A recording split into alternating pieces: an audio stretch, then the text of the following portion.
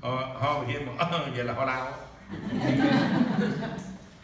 À, cái ho mà của em này là do cảm thôi. Nè nhưng mà đi cái mồ hôi á, thì tôi cũng giải thích mọi người nghe nè. Thì cái mồ hôi tay á, và mồ hôi chân á, thì là do cái uh, mất cân bằng của hệ thống thần kinh thực vật. Hệ Việt Nam á, thì gọi là hệ thống thần kinh thực vật nhưng mà thực ra là hệ thống thần kinh mà automatic thì nó gồm có hai cái hệ thống gọi là hệ thống Ờ, một cái là giao cảm và một cái đối giao cảm. Thì bây giờ mất cân bằng là cái giao cảm nó hoạt động nhiều hơn. Thì cái giao cảm á, mà khi nó hoạt động nhiều hơn nó sẽ làm cho cái người này á, là ra mồ hôi tay và hôi chân. Cho nên á, là cái vấn đề trị về thần kinh á, thì là, là là là người ta thấy là điều trị không hữu hiệu rồi. Thì sau đó là bác sĩ á, mới nghĩ tới cái chuyện là cắt hạch giao cảm bởi vì ờ, những hạch thông cảm nó nằm rải rác ở trên cơ thể mình nó chi phối toàn bộ cơ thể mình.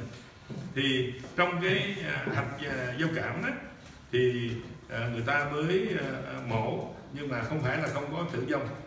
À, tức là nhiều trường hợp như là tôi nhớ một cái năm mà tôi còn học ở bệnh viện bình bình dân á, có một bác sĩ mà đổ ra mọi tay thì cũng muốn là mổ cho tốt á, thì mọi người mới đề nghị là thôi mổ hạt giao cảm đi sau khi đó nó sau đó sau khi mổ nên này tử vong luôn trên cái bằng mổ. Bởi vì cái hạt giao cảm là không có đơn giản được. Cái thứ hai nữa đó là người ta cái phương pháp mới nhất là ta đốt đốt cái hạt giao cảm. À, thì ta mổ nội sâu thôi nhẹ nhàng không có mở mở rộng ra để mà làm. Nhưng mà thực ra mà nói ngay bản thân tôi thì tôi cũng không biết rằng là sau khi hạt giao cảm nó bị chết đi thì nó có làm cái gì tổn hại vô thể hay không bởi hai cái cái cái hạt giao cảm là một cái rất là sensitive này thì ví dụ như là mình mà mà mà mà nóng á mà ra mồ hôi thì ta nói do hạt giao cảm nó làm cho ra mồ hôi. Để nó điều chỉnh lại cái thân nhiệt cơ thể mình.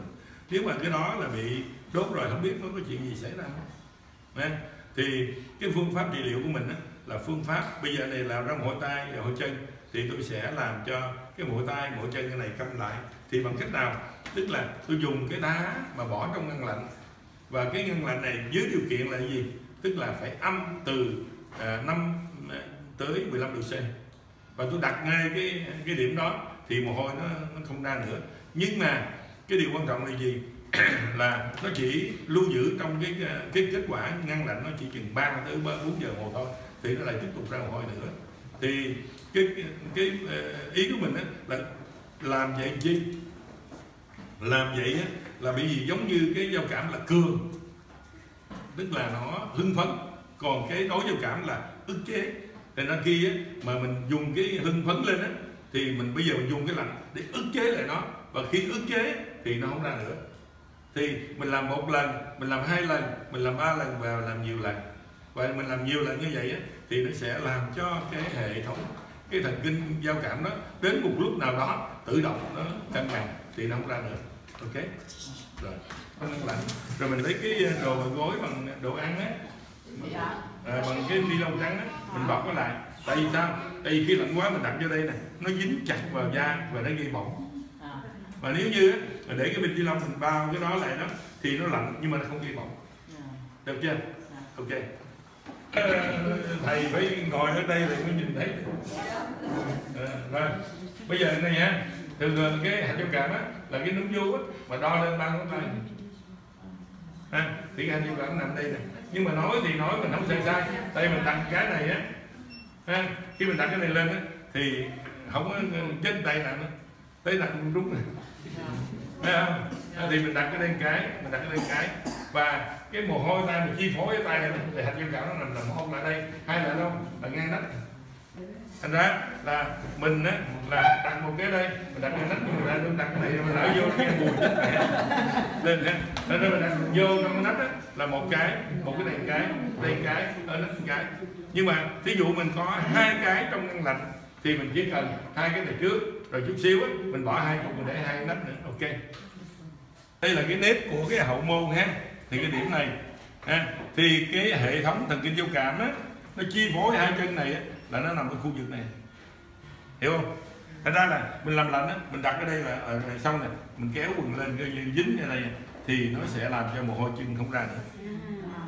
Và mọi người để ý là mấy cái ờ, trường hợp á, người ta mổ mà gây tê mà à, cục bộ á tức là gây tê hai chân này đó người ta chích thuốc tê vô cái cái cột sống này nè thì gây tê hết cái này và những cái trường hợp mà mình thấy tai nạn mà xảy ra đó mà nó nói tổn thương cái cột sống này á, thì người đó bị liệt luôn hai cái cái chân.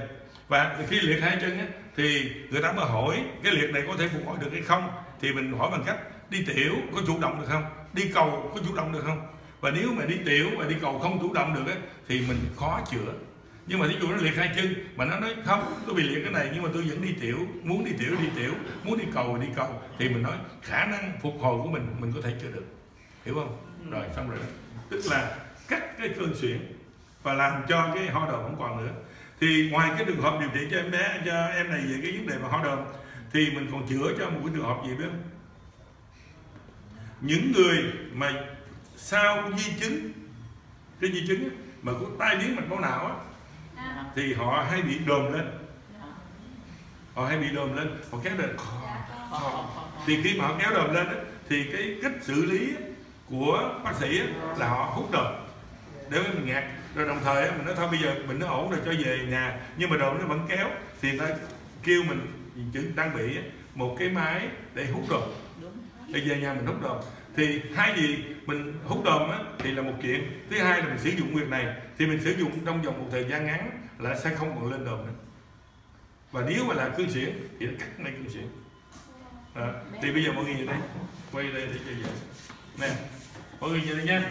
Đấy là cái tác động mà mình nhớ nha cái hệ thống á, mà tính là là máu về tim á, là thường thường nó nằm bên ngoài bọc bì bì da. Còn máu trong mạch là nó chạy luôn luôn ở bên trong này để nó ẩn giấu thành ra là khi mà mình muốn chữa cái đó thì mọi người có thể là mình khóa cái hậu khẩu chút cũng được. Được chưa? Rồi bây giờ mình đẩy nè mình nắm mình đẩy đẩy miếng mình máu này nhìn em. Đẩy mình máu này thấy rồi cái khi mình đẩy vậy thì mọi người thấy cái tôi đẩy cái nó hốp vô không? Nè nó hốp vô không? À, rồi tôi đẩy thì em này tôi khi mà tôi đẩy thì em hít sâu vào. Rồi hít sâu vào coi. Đó. Rồi bây giờ lên đây rồi em thở ra. Rồi tôi đẩy lên em hít vào rồi, em thở ra. Rồi bây giờ hít vào. Rồi em thở ra. Rồi em hít vào. Rồi em thở ra. Rồi em hít thở. Bình thường em thấy có dễ chịu. Vì mình là người hô hấp, bị hô hấp mà. Thật ra khi mình đẩy cái mạch máu này xong á, thì cái phổi nó nghe à nó hơi nhẹ nhẹ rồi. Nhưng mà đàm bây giờ vẫn có vướng cổ. Thì bây giờ để cắt được cái cơn đàm nó hoặc là cắt được cái cơn sệ xuyển á, thì mọi người sẽ xem ha cái cơ này người ta gọi là cơ gì? Cơ nhị là đầu. cơ nhị đầu. Nhưng mà cũng đồng thời là gì? Cái cơ này là cái mình nói dễ theo kiểu Việt Nam mình gọi là con chuột, chuột. Nè, thì mình bấm á, là mọi người thấy cái tay tôi thò tay thấy chưa? Tôi bấm như này bấm á, là không được giật ra vậy. Nè, mà bấm sâu vô đây lẫn như đó. Nè một cái cái này gọi là bấm. Ừ hai cái. Nè, rồi mình nó bật cái này ba cái thì khi á, mình bật cái này á, là mình bật đúng cái đó thì nó lên đỏ thôi chứ nó bầm.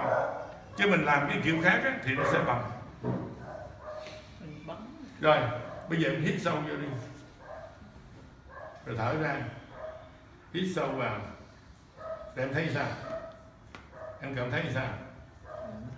Không. Nhưng bây giờ vậy nè bây giờ lúc bây giờ tôi mới làm thêm mà làm này làm ba lần nữa nha mà tại vì em có bệnh tôi phải làm cho đủ.